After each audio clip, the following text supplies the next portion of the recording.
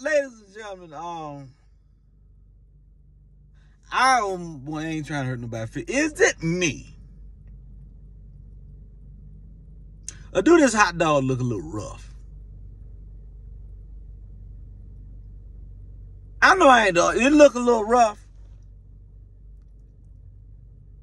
I'm not. I, it ain't no. I don't have no big philosophy on it. It just look like this chili ain't chilling for me. Just not. That this, this look like they they cleaned out an animal cage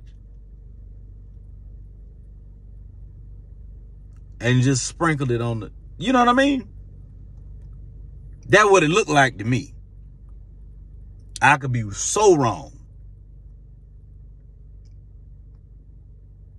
I, y'all just be careful. I don't want y'all out there eating boo boo, okay?